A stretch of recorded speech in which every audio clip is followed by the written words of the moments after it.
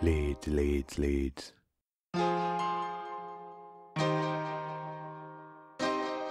What is happening?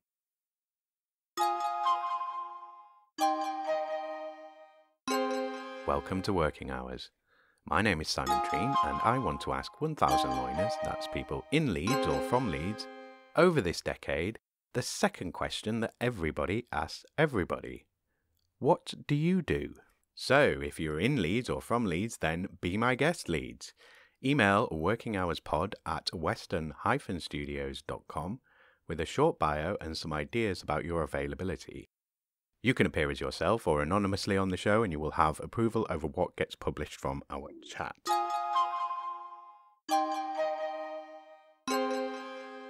Welcome to episode 14, the fourth episode of 2021. My guest today is Jason Allen, and this interview was again recorded over Skype on the 16th of December 2020. Jason works as a digital video editor for Channel 4 in Leeds, editing and helping to produce video content across all of Channel 4's social platforms. Jason also has his own YouTube channel where he reviews TV shows. Uh, there is a link for that in the show notes. We discuss his history of interest in animation and how that led on to starting his YouTube channel and ultimately to working for a public service broadcaster. Before we start this episode, here's my quick shout out for guests. Guests!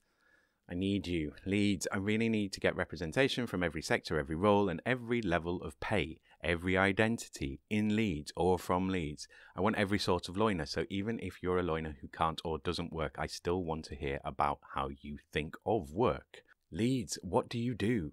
Remember, I need to be interviewing about 100 people a year, and I can't do that without your help. Be reassured, your job isn't boring to me, and neither are you. So if you fancy the opportunity to talk to someone for an hour or so who will actually listen to you, as you answer questions that you know all the answers to, then come and be on the show. How often do any of us actually get listened to these days? Well, here's your chance now, Leeds. Get in touch and tell me about it. It's easy and it's fun. Let's get into this then.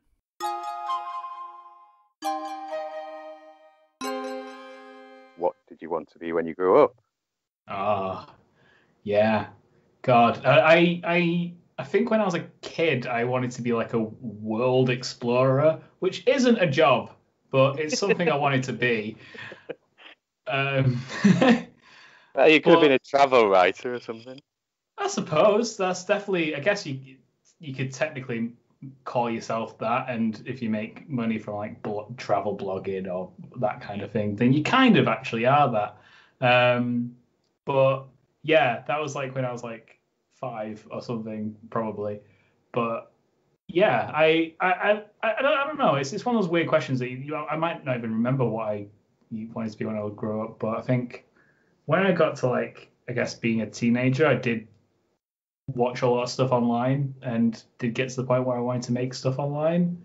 Um, like there was this like I used to go on like newgrounds.com, which is where a lot of independent animators made a lot of silly nonsense. Um, and I tried animating at that time, and that was terrible. And I think I had this I had this um, stick figure animation I made in Windows Movie Maker, and it was like five seconds per frame, and it yeah. was awful. And it was to the Kaiser Chiefs, which is hilarious, and I can't find it anymore. Uh, it's it's lost to the void. But um, yeah, I don't know. I think this is such a weird question. It's just a such a hard question sometimes because like I, I I don't think I ever specifically want to be anything mm-hmm. specific growing up. I wasn't like I want to be an astronaut, but I think yeah, yeah, there's yeah. there's a lot of things you could be. Well, yeah, well, there's the, the whole variety of everything, really, isn't there? Um, yeah. It's just whether you know about it and what your aptitude is and how close you are to doing that work. Yeah. Uh, exactly. So what do what do you do now? I I am a video editor for Channel Four in Leeds.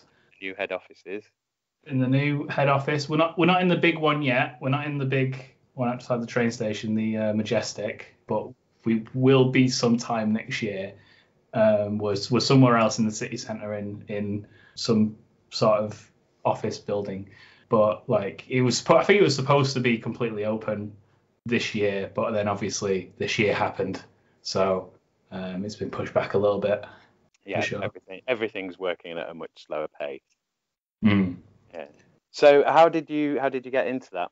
Initially, when I went, I went to uni in Huddersfield, and I initially wanted to be a social worker, which is Okay. nothing to do with what I do now. Um, but that's of course I did because I my uncle was a social worker, and I, I I admired him a lot, and I wanted to be I wanted to do good like he did. So I, I went into that and then found it wasn't really for me. After like you know four or five years of trying, um, Yeah. I think it's you think you have to be quite a certain be a certain kind of strong person to do that that kind of work.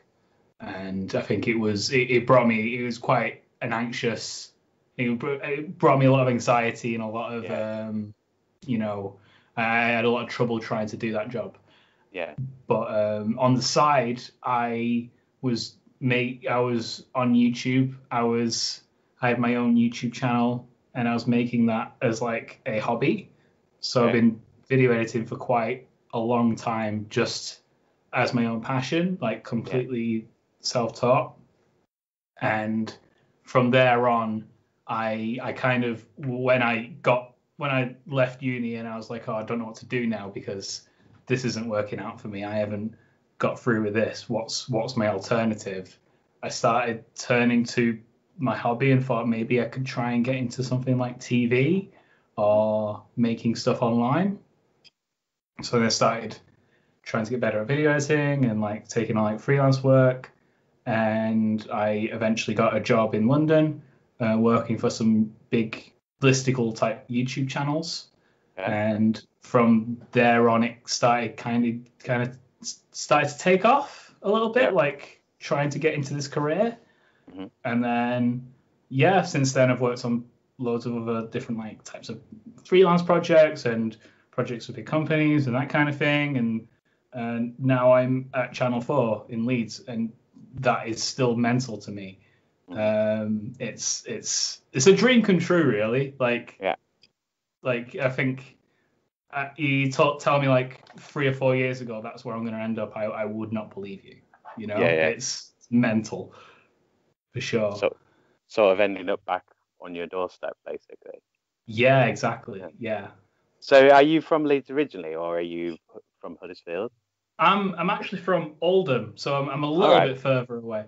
Yeah. Um, so I've- I've slowly drifted towards West Yorkshire even more. Yeah. Uh, but yeah, no, I'm I'm I'm I'm from Oldham. Um, but So, what, what- was it just the course that took you to Huddersfield then? yeah, Like, that particular course, yeah. Yeah, pretty much. And it's, it's near enough by. I had some friends in Yorkshire, and I, um, yeah, that was that was pretty much where my affinity for Yorkshire began. Um, I did quite a lot of like when I was at social doing social work. I did a few placements in Leeds and stuff, so I know I've known the city for a while. But now I'm now I'm finally living here, and it's a weird year to move here, to be honest. So, Um, you, I, I guess, did you start this job this year as well then? Uh, yeah, I started I started in May, which is like right in the middle of lockdown. Yeah. Uh, so, so and we ended up moving to Leeds at the start of April, which is right at the start of lockdown, Yeah. which was also mental. There's, there's been Yeah. a weird year, Yeah. but like it's it's I'm not gonna say oh I had a really hard time moving up or anything like that. I think there's a lot of people who've had way you know worse years than I'm I've been having. Um, I I wouldn't want to come across like I'm you know oh I've had such a hard year moving to my dream job. God no. I think Yeah, yeah. it's you know it's it's it feels feels a little yeah it's it's it's been fine it's been weird for sure but uh, I think yeah it, it, despite everything I think it's been quite uh, it's, it's turned out quite well but Mm. uh, it has definitely been different I I I didn't meet anyone on my team till like September October they've been working from home the entire time in a new job like completely remotely which I think is is a lot different if you haven't met anyone beforehand Yeah. than if you you were working somewhere previously and then then we're we're forced into this situation. I think it's I think it's just a strange strange way to work, but I think the nature of my job it's been fine. To I think it's been been definitely doable with with you know little weird quirks to it. Yeah, yeah. And are you like, how is the working from home for you? Are you kind of sort of used to it anyway? Like with doing your own YouTube videos and stuff, you and and being an editor, you're kind of used to working quite often on your own and kind Mm. of getting on with the work. So has it been much of a change for you? in in a lot of ways it, it feels it, it for for like a at the start it felt a little bit like I was like a freelance editor for someone else rather than actually being being employed um, by someone full time because it because it like freelance video editing is pretty much is pretty much a work from home setup really Yeah, yeah, it's, it's, it's you, you you know your home's your office in that situation and this has felt in so many ways the same but then also this is but having a, like a permanent job. Yeah I, I i kind of i think from that sense I, I was a little bit more prepared for work from home than i guess a lot of other people because it's kind of something i've already done and it's made it a bit more of a natural fit. Uh, i i like it. I, I i i don't mind. I think i would want to continue working from home like half and half Yeah, the- like once everything gets back to normal i think i think it's kind of going to change things for a lot of people for the better. Yeah, um because it's it's it, people can work from home. If you you know a lot of jobs if you if you have a laptop you can work from home. Yeah, um it, it don't necessarily mean you're gonna reduce productivity being in your pajamas all day. You'll Yeah. still get the work done maybe you know or quite possibly a lot more done because you know you're not sat on the bus for an hour. So that time you could maybe, you know, the time that people would spend on their commute on their laptop drinking a coffee, they Mm. can have that time just sat at home in their pajamas. You know, they Exactly. don't have to rush it and. Uh, And it's yeah, also like-. Yeah, and it's also better for yeah, it's better. You might you might not even be spending that extra time working, but you're spending that time, you know, getting more sleep and getting yeah, more time for yourself and more time with your family. I think that's that's I think I think this is going to change things for people because people realize what it's like, you know, now, and going back to work is going to cause. I think it's it's going to be it's going to cause a lot of grief if any anywhere tries to uh, force people back into the office lifestyle full time. Mm. You know, I think with Channel Four, they're gonna that they've they've already told us that once this is all over, they're gonna implement like a hybrid kind of system where it's like Yeah. half work from home and half um, in the office. Yeah. And you can adjust that based on like you know little little tweaks here or there like preference wise but it's going to be quite it's going to be quite interesting to see how that works and and how many other places like follow suit because it's it's kind of them embracing that whole um, work thing that new way of working which is even crazier considering they've just built a new building a new Yeah. office for, for us to work in and we might not even be in it half the time yeah, yeah. That's pretty mad. it's not even Yeah. finished being built yet. And, we're already like we don't need offices yeah. anymore Yeah. Um, yeah, I mean that that's the other side. I mean, like it's attractive to companies once they realise it's like, well, people are still doing the work, they're still turning up, they're still being productive, Mm. and we don't have to pay for this expensive office somewhere that costs us X amount of money, and we can just have people take on a lot of these expenses themselves. You know, we don't have to provide tea and coffee in the office, and we don't have to pay for the cleaners for the office, and we don't have to pay for reception and security for the office, and 100%. so um, yeah, I mean, it makes a lot of sense to a, a lot of places. Of like, well, we can be more dispersed, and especially as people are kind of working, you know, it, it gives you a flexibility to a degree as a worker in that you can potentially work anywhere in the world. Like you could get assignments from the US or Oz or you know anywhere in the English speaking world and Yeah. do it from your home office essentially. You just need Yeah. the files, don't you, to edit? So Exactly. I think it's going to be interesting to see how, how this works from like an employer's you know point of view. Do they want people local or would they be happy to have someone on the other side of the world? I think that's going to be that's going to be in some ways maybe a big concern. Um, it's been again interesting from my perspective in Channel Four because even despite the whole you know because our team as well because basically with this this the, uh, part of Channel Four I work for is like the digital side, so all like the Facebook, YouTube, Twitter, um, all anything that's like primarily online based. That's what the team in oh, the big part of the team in Leeds is working on. Yeah. Um, so it's a brand new team as well. It's a brand new facet to Channel Four, and so when when they, when they've done all the hires up here, they they even though this year's been happening and people can work from anywhere, they they have been like requiring people to have some affinity to the north or some affinity to Leeds. Mhm. Uh, I guess it's probably part of their remit as well, but um, like they want us to eventually move here, even if even if he can work from anywhere Yeah. you know, which I think is great. I think that's that's really nice. So it's not just like all based in bloody London, Bloody You know- London. bloody London. I can say I'll- I live there. well, exactly. How long were you down there for? uh, about about two years. Two Um, years. Two two years, and it was yeah. I I I enjoyed it, but it was like I, I just I think I just missed home. All my friends are up here. Yeah, uh, I think for me, the first year in London was the hardest year. Yeah. And then after that, it got much, much better. Um, whereabouts were you? I was, I was Dalston, sort of Tottenham way. I was I moved around a lot um, in two years. Christ, I was in um, Couch surfing.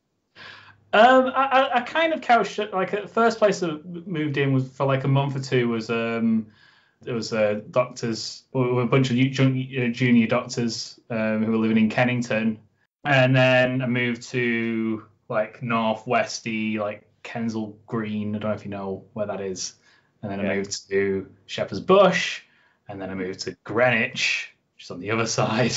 Yeah. and now I'm in Leeds, which is slightly further out than London.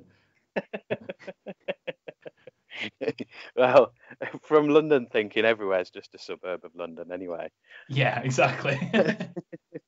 Yeah. So in terms of other roles, so you've you did the the social working, so you've done that for a bit. So that's given you experience in another sort of field. Has have all your other roles just been video editing then since since the social working? um, I mean, I worked in retail. Uh, I worked. I think. I think um, most people do that. You know, I worked in a. Before I moved to London, I was working at um, uh, Barnardo's charity shop in Manchester. I was like an assistant manager. Before then, I worked at Mothercare and Tesco. Um, so like my, for for the majority of like my professional like like serious career professional life, it has been it has been video editing, um, which I'm incredibly grateful for. Very happy that uh, um, I've got got to this point. I'm very lucky to have been given the opportunities I have. I think like it's it's it's it's definitely something I've worked for, but it's not. It's it's also like there's there's always like a look element to to getting your foot in the door, and especially in like TV and making stuff online and stuff. It's such a competitive and sought after industry. Um, so I'm I'm happy that I, I got here, really, Yeah. for sure.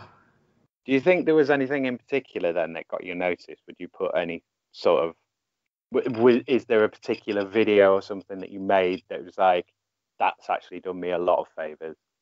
I think I think my biggest foot in the door. So I just before I got like before I got that job, like in like 2017, I went on this thing called the Network, which was a talent scheme ran by Edinburgh TV Festival, which is to help people people at entry level try and work in TV, Mm. and getting on that scheme was probably the thing that has helped me get you know have some clout and have a bit, you know get a bit more noticed by employers.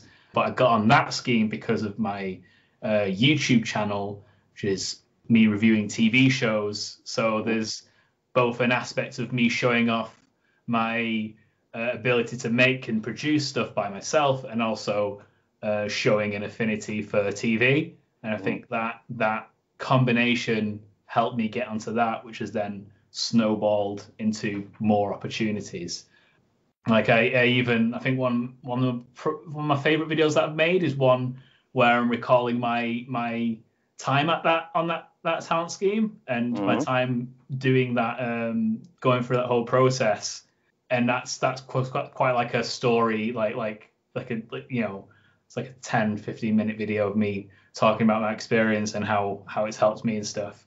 And I think that's that showing that to to people as well as as many people think, oh, he's, he he he he has a passion for this, and I think being able to show that passion and show that you're proper keen and you're, you're spending your spare time on this kind of thing is is is what people really and and showing personality as well. I think that that's also a really important thing Mhm. to people, especially if you're going to be working with them.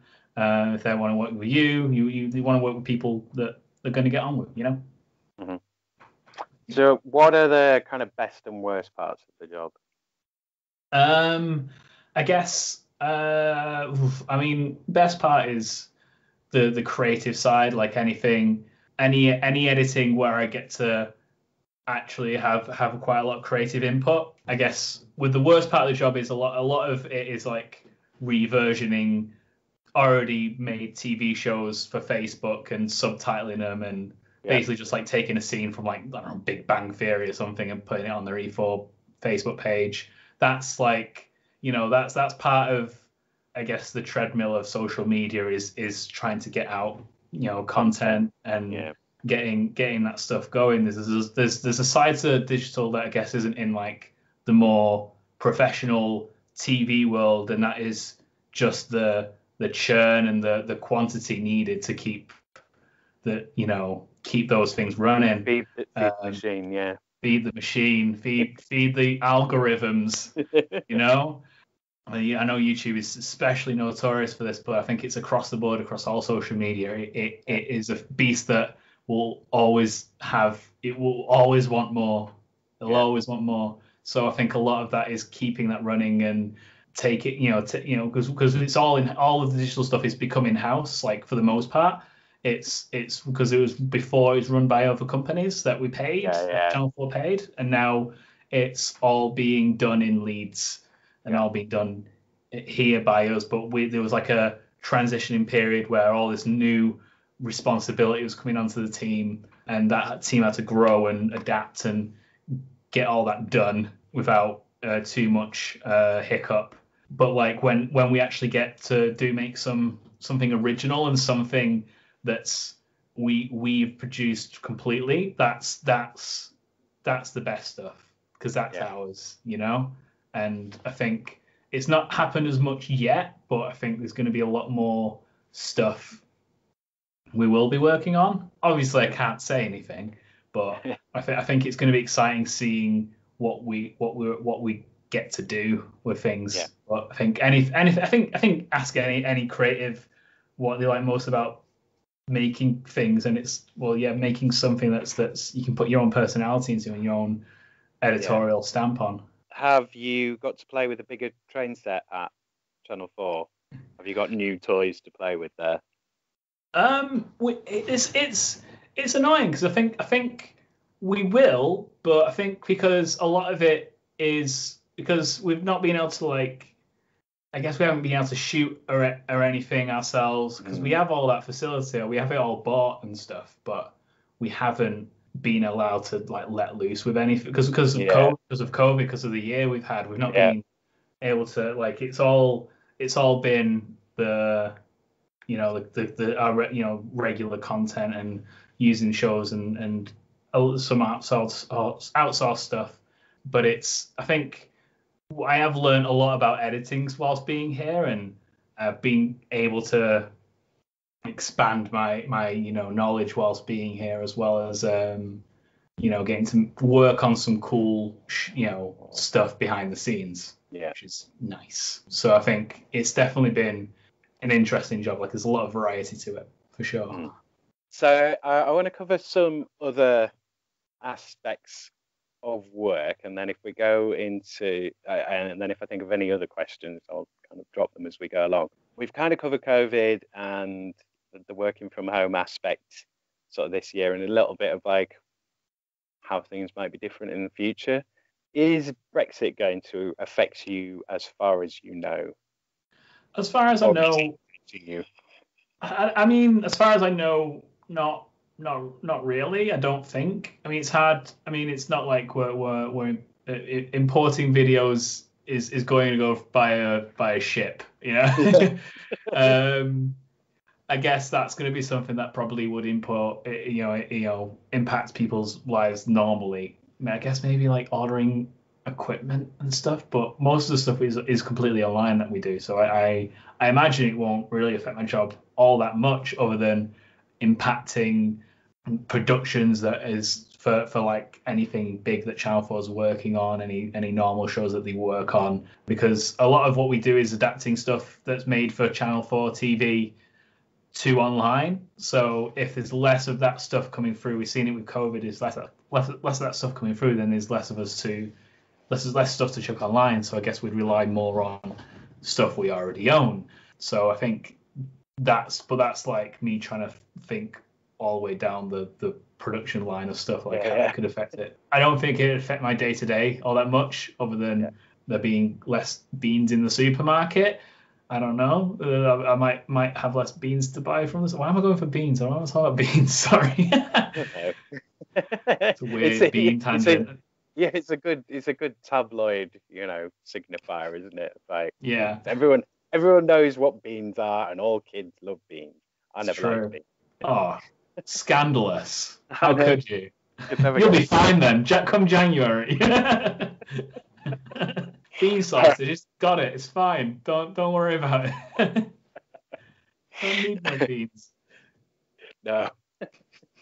Uh, what was the other thing that I was going to ask? Um, oh yeah. Well, well I, I suppose on the Brexit front, I, the changes will will probably be literally cosmetic for you. I would I would guess it will.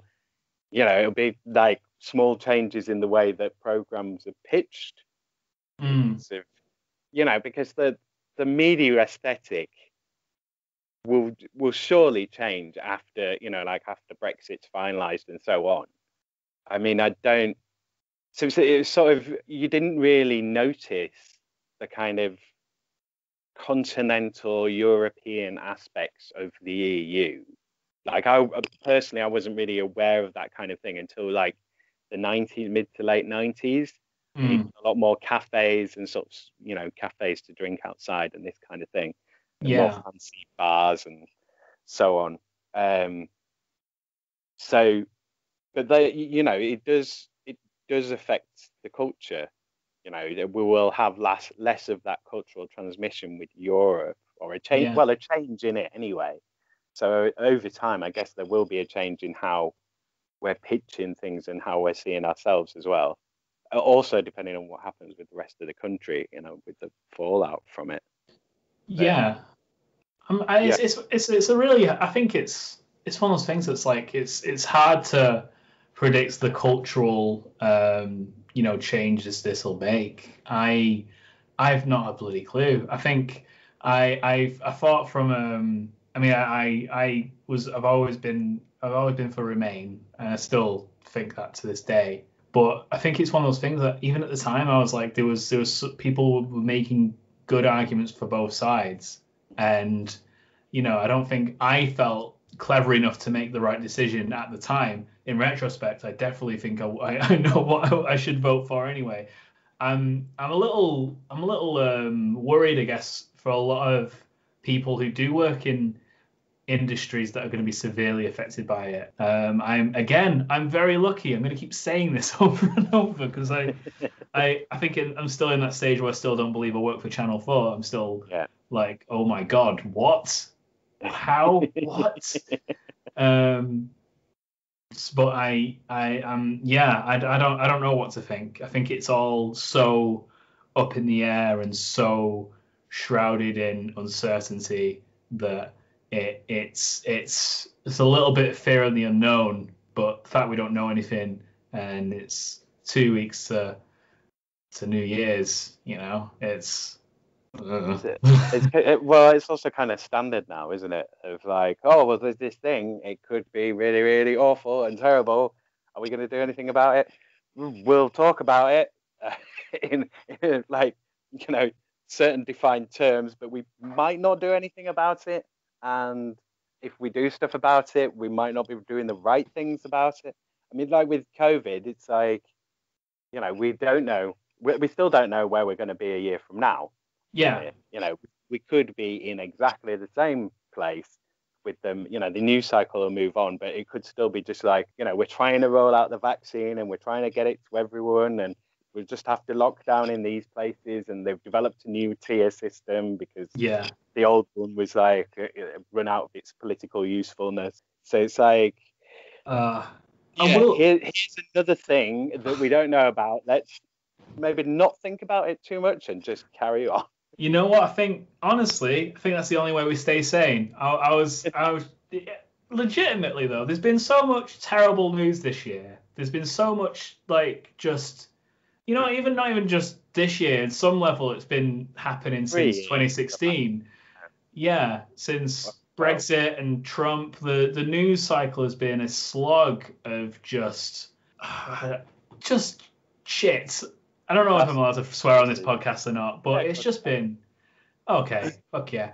Um, no, but it's been it's just been just such such a such um it's, it's just been constant. It's and it's and it's not just like the normal 24 hours news cycle. It's it's a 24 hour news cycle on on digital and on online. And I think and as someone who, who I guess works in it, it it it worries me to no end how far misinformation gets and how people are considering not taking the vaccine when it when it is is rolled out to everyone who you know when it's available to people it's it's you see it in facebook comment chains and when i'm w- wondering whether that's a real person or whether that's a some sort of russian troll or whatever but I- i'm more convinced now that there's there's more real people commenting this stuff than not because i you know you hear it in real life occasionally.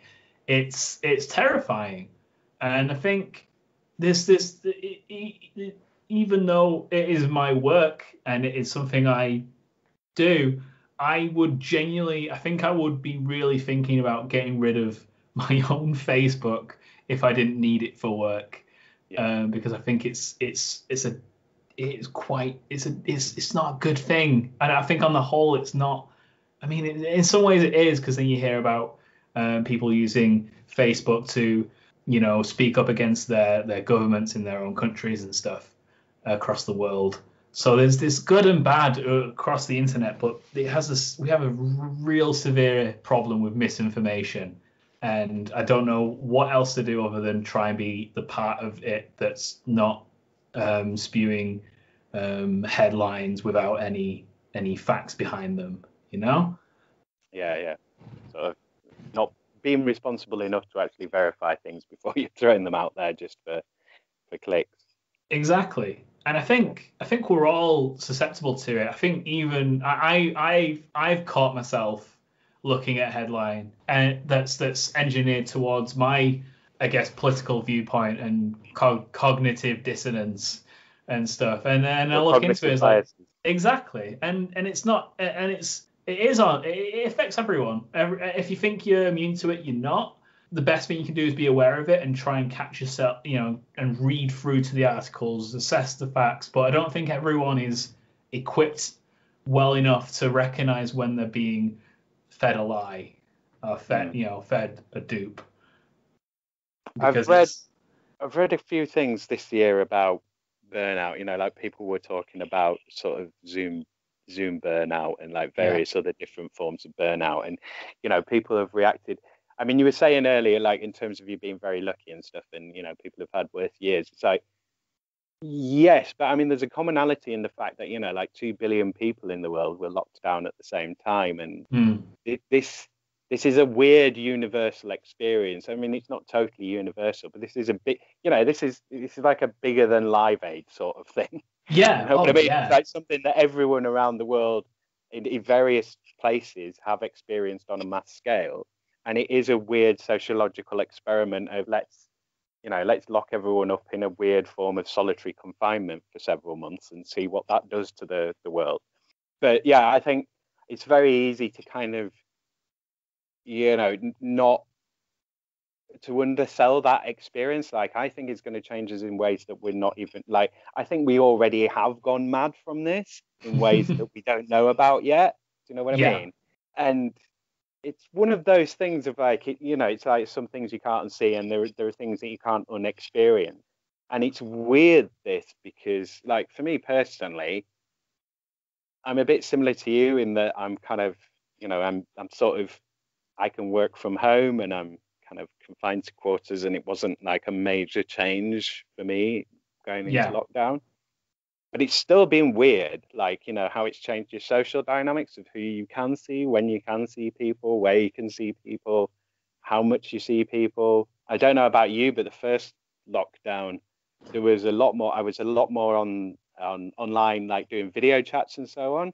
this Hmm. most recent not bothering um it, you know you, the first lockdown was nice and sunny now it's Yeah. all dark and kind of miserable and it's just it seems a lot more grim the second lockdown Yeah. um, being similar for you I think I think I think you're right. I think because because I think the first lockdown, a lot of my spare time that would be spent doing other things was spent walking and going outside and going for longer walks and and getting some air as a way of killing time. And I love I love going for walks and hikes and stuff. It's great. It's good for you. It it, it but it's cold now and Yeah. And I don't uh, sometimes there'll be I think I have actually spent like there has been like a string of days where I've just not gone outside, and it's terrible Mm. for me. And but I don't have to. Um, but it's bad. It, it, I, I don't. I think this is definitely gonna. I think there's gonna be people who uh, uh, probably might be more susceptible to becoming hermits and not wanting to leave the house and maybe trying to avoid leaving the house all, altogether. Um, you know, this this this kind of thing can develop. You know, people can can you know genuinely be. You, they, they, they might fall into into into the worst patterns, and it might you know make anyone with like pre-existing conditions and stuff to to fall into worse you know you know worse places worse place mentally really um so I I think I worry for people on that aspect and, uh, and like you said I don't think we might we, we'd see the effects of that until uh later on I think well in many cases you won't see effects at all i mean like some people Yeah. who you know people who are isolated if they're not in an area where there are these volunteers and mutual aid people that have gone out and sort of made an effort to get hold of people there are you know there are people we, we may not even discover for ages just hiding Yeah. away Um, exactly yeah it's it, it's strange sorry i interrupted you then can you remember your point um nope it's gone Uh, I mean, the reason I brought it up was it, it's kind of that similar thing of I know I know people who are probably working more because they're working from home, and Mm. also because they're they're sort of working constantly and they're they're really not going out. You know that not just sort of oh your social skills have got a bit bad. You know, like your, your writing gets a bit bad over the summer holidays at school. yeah like yeah on the verge of like seriously impacting their ability, you know, because I've seen people getting nervous of people or Yeah. being around people, and it's not just like children; it's it, it's adults as well. So yeah, it's it's going to have a lot of effects on a lot of people, but I think it's also going to have well, it has had and is still having and will continue to have effects on all of us, but in ways that we don't necessarily categorize as you know, we're kind of we're trained to think, oh, that's all, you know, like it, it- we're trained to Mm. step over it. Does that make Yeah. sense? Of like, okay, it's an interf- it's a blockage in the road, it's a detour. I go around and I continue on. This is just something like a disruption that we kind of detour around. Yeah Uh, and I don't think that's that's how we're encouraged to experience it, but I'm not sure that is how everyone has experienced it. Like we all want to kind of move on to something different, but I think that there's more going on there. I think that yeah, it's I think it's still going to work itself out in some weird ways. Like I don't Hmm. know about you personally, but for me, I couldn't I couldn't do another full year of this. And, No. Like, you know, even the intermittent lockdown, like I, I I won't feel very happy if this is still the situation this time next year. Oh God, no, no. I I just miss people. I just miss my mates. I just miss socializing. We're, I mean, we are we are social creatures at the end of the day, and I think this is probably like the most unnatural thing we can we can do really um, as a as a species is just you know all individually sit in a room uh, you know and not speak to anyone. I mean, it's not exactly like that because we have we have this, we have talking online and stuff. So I don't think I don't think it, it's as bad as it. Because I, I I was thinking the other day, what if this happened in like 2003? or like or a, a, time or a time like in modern society just before we had all the video calls and the, the well uh, 2003 was the foot and mouth wasn't it? Yeah. Yeah yeah. Which but it was wasn't... mad in and of itself but obviously we weren't we weren't locked down for that but you, you know it was kind of wash your feet at airports and yeah. It just but this is this is a whole new beast isn't it? This is oh, this oh yeah yeah a whole other level. I, yeah. I mean when I heard about SARS one and stuff, you know, you'd get I, I remember talking to people. There was loads of stuff about pandemics uh, mm. at the mm. turn of the century and people at the beginning of this century. And I remember talking to people and they're like, "Oh, this bird flu, bird flu is going to be like a massive thing." Yeah. bird flu And then they were going on about SARS. And then I was in London during the swine flu one. Yeah. And they'd put up signs in in my workplace saying like you know wash your hands everywhere and this that and the other. And i'm like as if swine flu is going to come over here like it's not going to happen. Mm. largely didn't. Um so when this one as well i was like that's not going to happen yeah. you, you don't believe any of it for sure. It's it's such like a it's a it's such a movie concept yeah. such a fi- sci-fi idea to happen. Yeah. Um it's, weird. It's still weird. I still get a bit we- weirded out when I you know you go to Lidl and everyone's wearing masks. I'm like, this is this is definitely a scene from a film. Yeah, I mean, like I remember sitting. I'd, I'd uh, gone to the supermarket. I hadn't gone into the supermarket. I was sat in the car park outside, mm. and I'm just watching everyone come out with masks, and it's like, so this is the 21st century then is it? This is, you know, like no hoverboards, no no silver jumpsuits. People, everything's exactly the same. It's grey, it's boring, everything's wet, but everyone's wearing masks. Yeah, that's good. You got some nice phones. yeah, we got better phones, and we're all wearing masks. And yeah, yeah, slightly dystopian. Yeah, um, love it. yeah. So I'm going to move back off of uh, coronavirus and all the general crises. I'm, go back to, I'm, I'm happy with that. go, go, back to the video editing. So I want to talk to you a bit about uh, software programs. So in I shot uh, a film on digital video in 2000. Well, film's a generous term. um, like low budget, did it all myself, sort of thing, and I was editing on um, yeah, but I bought the machine in 1999. Yeah. 50 gigabyte hard drive. Oh, oh watch out. I, pay, I paid like five grand for this machine at the time, bearing in mind. Yeah. So it's a custom built like machine with Adobe Premiere on. And it was operating on Windows 95. Um, and it was it crashed all the time and it was a nightmare. And um, yeah, it was really, really stressful to edit on.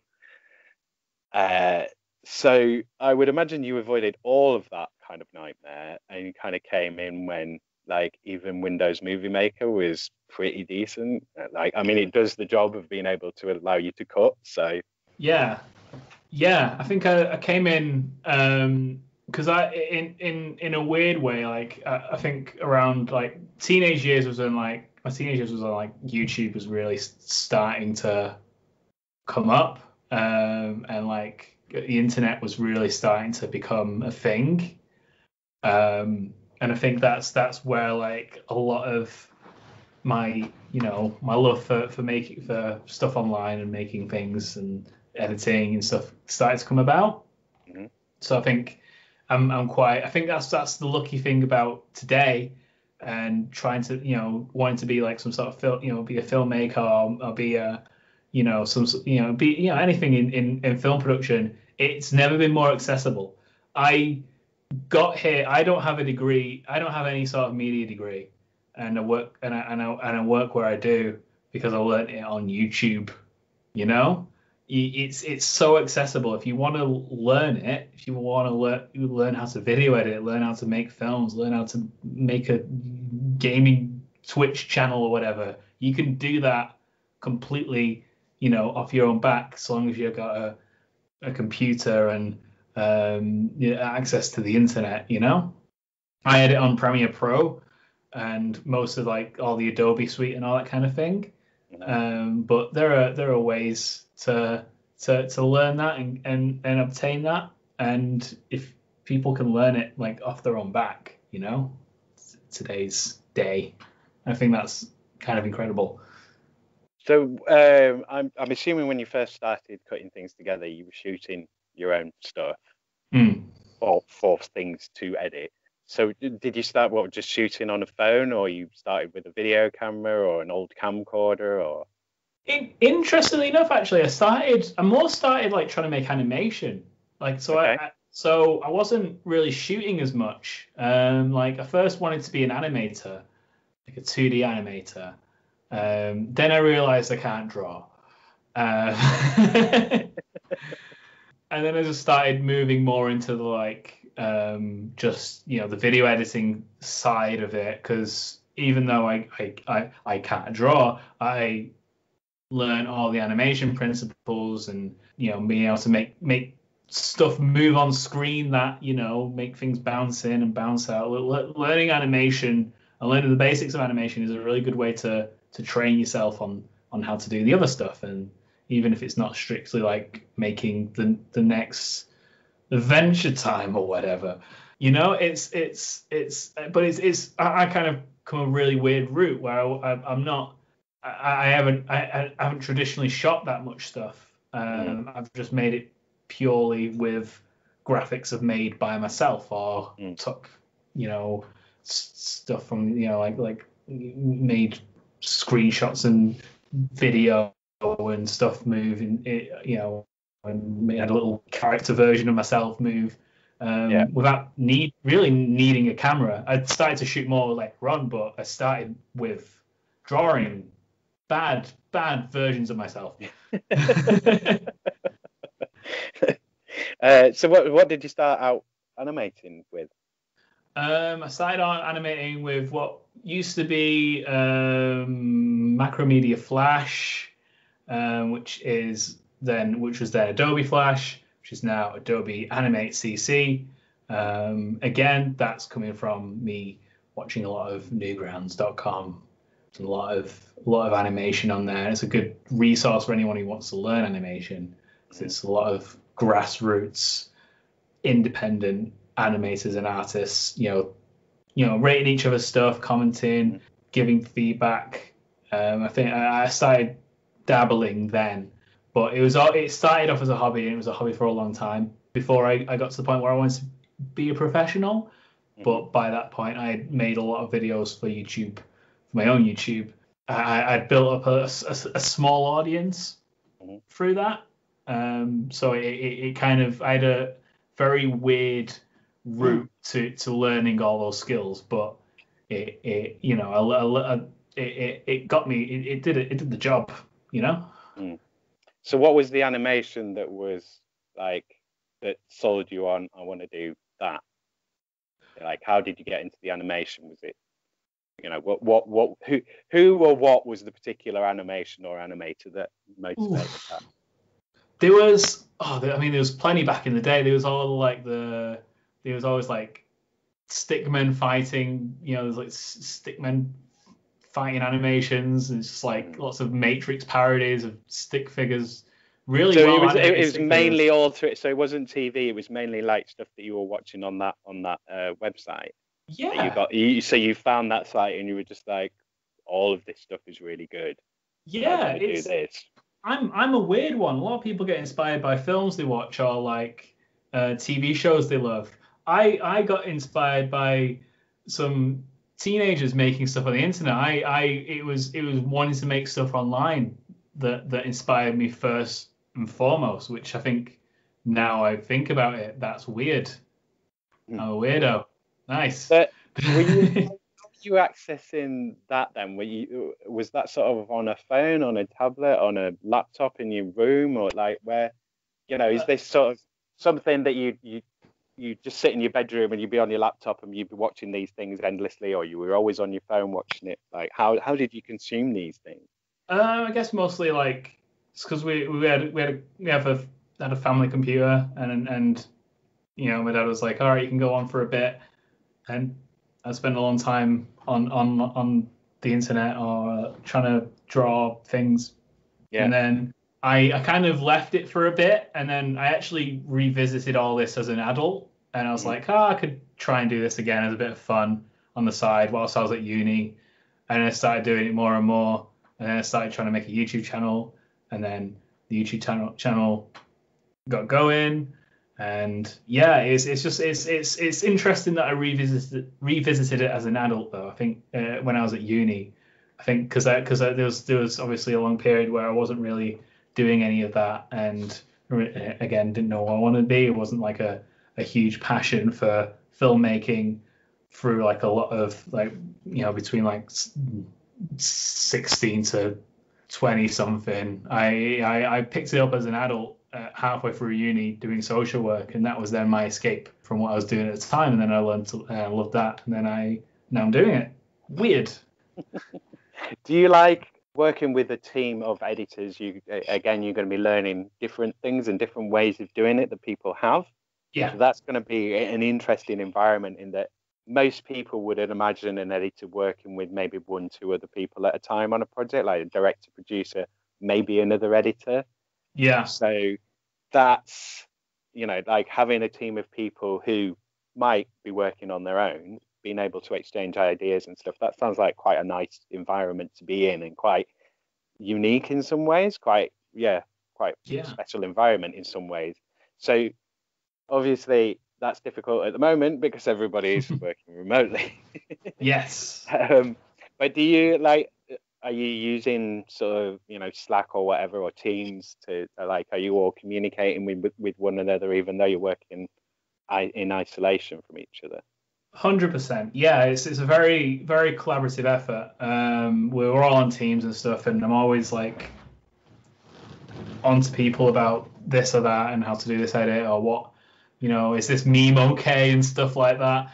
Um, it's it's it's always the best. I think I I think that's probably the main difference between like I don't know, get someone learning it by themselves and YouTube and trying to make YouTube by yourself and actually working on something with other people. It, it you you learn so much quicker around other people. I think I think I, I I taught myself a lot, but I my you know my learning quadrupled in how much I learned in how much of a t- short space of time when I started working with other people and other editors mm. because they'll be like, why don't you do it like this? You, you're doing this the long way around. And I, I was like, oh yeah, of course, I'm an idiot. This this works so much better. And now my all my edits are faster and all this is faster and, and all the shortcuts and all, all the things that you know if, if someone who's who's just learning it online might not know to do because they'll have learned it a certain way and maybe learned bad habits, all that kind of stuff.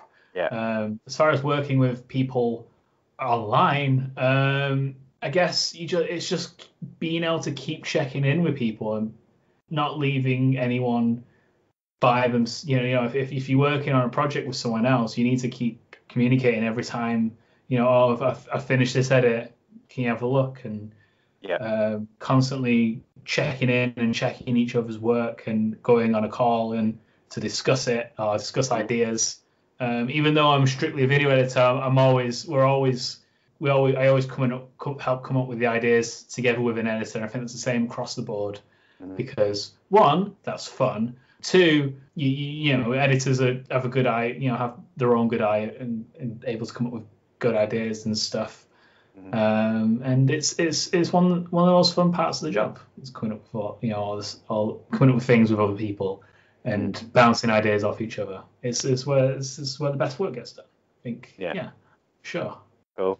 So, any sort of tips in terms of what programs you would use? Like, the other thing I want to ask as well is, Mm.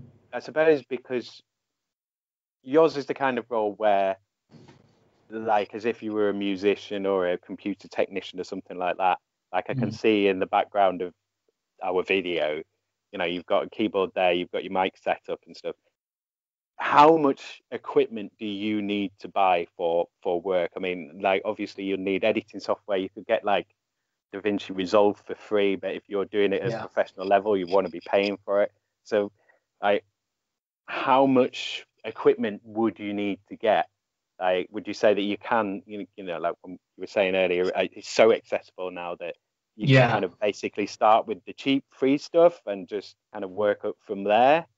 Or do you need to be spending money to get the actual higher end good good equipment? I think um, I think if you're just if you're just starting out and you're just learning the ropes, try try not to spend too much money because you might not even like it because edit, editing can take a lot of patience. But like there are ways to get any and all the programs you can uh, that I might not mention here. Uh, but I think uh, everyone needs to learn. You know, you need to learn first before you can start being paid to do it. It's it's only when I started you know, really it, it, it either like it first became a passion for me, and that's when I started spending money on myself and buying a mic and that kind of thing. Mhm. With, that was me spending money on a hobby, you Yeah. know, spending money on my YouTube channel for fun and for passion, you know. And then after that, it started snowballing into actual professional work, and at that point, if you're being paid to do it, you should probably pay for if you pay for stuff like you know Adobe Creative Cloud or. But there's lots of there's a lot of resource for you don't you don't need the Adobe suite. There's lots of ways to alternatives to Premiere, like you mentioned, DaVinci Resolve. The paid version of that is is a contender for both Premiere and After Effects in some ways. Blender is a is a a competitor to After Effects and, and has a lot of 3D. ca- is brilliant for 3D. Learning that stuff is something you can work on. There, there's GIMP and the there's like an online version. It's like a, it's an alternate online version of Photoshop if you wanted to use Photoshop. Um, I can't remember what its name is now, but Google free alternatives to Photoshop and you'll find them. And and look up all the tutorials in the world on YouTube and make stuff for yourself. Make stuff because it's fun. And at some point, it might snowball into a career, but uh, you need to work out if it's if it's your passion 1st Mhm. I think that's most important. And then just you make daft stuff online. Make memes. Make um, you know, go on like a subreddit, like high quality gifs, and try and learn how to make a high quality gif, and then you'll that way you learn how to make animated kinetic typography with After Effects. The, the best way to learn, I think, is picking a project that you are gonna really want to make and really enjoy making, and just make it. For me, it was a YouTube channel talking about TV reviews in, in the funniest way I thought I could. For others, it might be making a short film or doing or making animation. You you you pick a project first, then work out how to do it after, and you you learn in between. You learn in the process. I think that's the most fun way and the most effective way of doing that. And if you can then try and work with other people on, on a project, and even better because then you'll learn off each other. you, your answer kind of surprised me in terms of uh, like finding that website and you know coming into editing through that. Mm. I would have guessed based on your um, your YouTube channel. Sorry, I'm just plugging in a power pack. Um, get, that you that it would be something like you know Avatar: The Last Airbender, and then you were Oh. kind of yeah, I really like animation, and then got into the the editing that way. Yeah. I think it's I think it's interesting that you, but then that makes me think: why did you do? Why was your YouTube channel about TV shows? Did you look and sort of say everyone's doing films? There's not many people doing TV, or A little bit, yeah. that? Uh, that that was one aspect of it, and also I do like. I mean, I, I'm not saying when I said before that mm, you know I wasn't inspired by TV or film. I was inspired by digital daft animations. Hmm. I still love TV and I love film and I watch a lot of it. So it has that has probably definitely inspired me in a lot of ways. But I think there was a lot of stuff I consume a lot of like stuff on YouTube and consume a lot of stuff online. And I think I wanted to do my own version of that and have fun with it. And I think the DIY style of YouTube and and and how people do it is it, it makes that stuff accessible. And that's why all all kids nowadays want to be YouTubers because on some level it's obtainable you know? Anyone can grab a camera and vlog. Anyone can make something nowadays.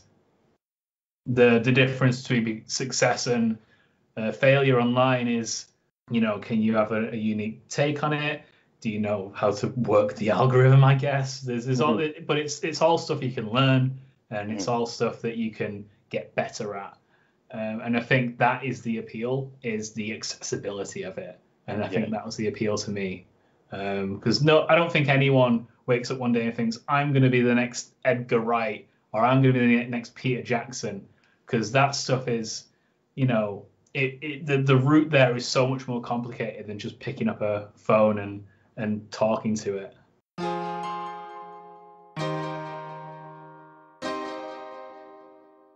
Well, the route to working hours is not complicated at all, and all you have to do to be on the show is pick up your phone and talk to it.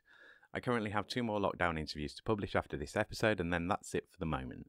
As I have said before, if I get some more interviews, I'll try to keep putting them out regularly as episodes. But if guests aren't coming in regularly, then I will have to wait until I have a few weeks worth of episodes before I can release them. Next time on Working Hours, we're talking numbers as I'm speaking with an accountant.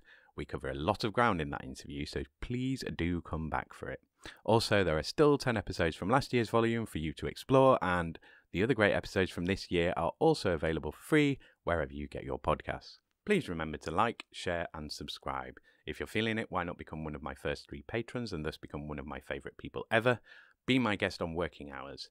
If you're in Leeds or from Leeds, then get in touch now. Email this podcast, workinghourspod at western-studios.com with just a short bio and suggestions of your availability if you want to be the guest, or you can just send feedback, questions, comments, queries, whatever. Time for the rules. This is a rules run local podcast for local people. The first rule of working hours is you must tell a loiner about working hours. The second rule of working hours is you must like and subscribe to the show. The third rule of working hours is that if you're a loiner, then be my guest. The fourth rule of working hours is take ownership of your work. Agitate, educate, organize, and maybe get to democratizing your workplace.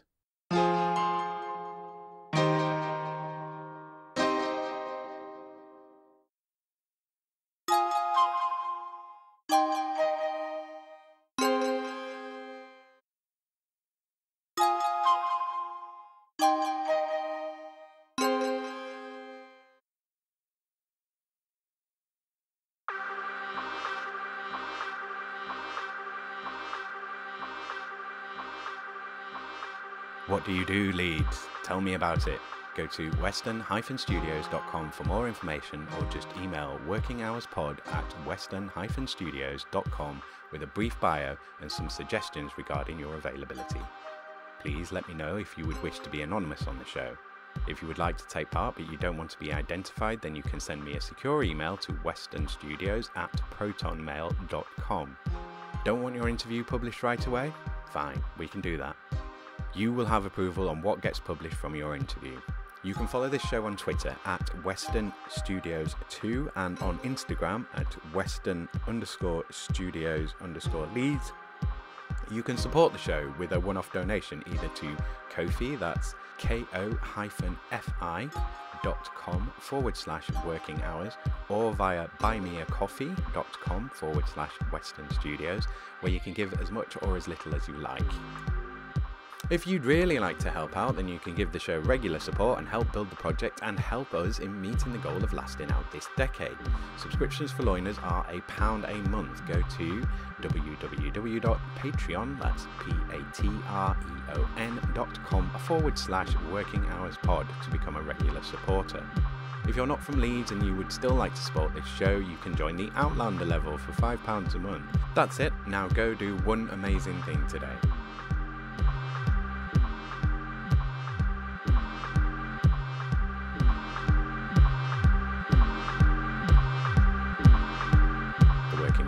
Podcast is made by Western Studios Leeds Limited. It is presented and produced by Simon Treen. This interview was recorded over Skype. Thank you to Captivate.fm for podcast hosting. The Working Hours theme was provided by Australian based loiner DJ Punk. You can hear more from Punk at soundcloud.com forward slash big time punk. If you're in Leeds and have a podcast idea that you would like to develop, please email make my podcast at western-studios.com with some details about what you would like to achieve, and let's start making your podcast a reality today. Follow Western Studios on Twitter, Instagram, and LinkedIn.com forward slash company forward slash Western hyphen studios for sporadic news on new episodes of Working Hours and for new original podcast productions that will be coming soon from Western Studios Leeds.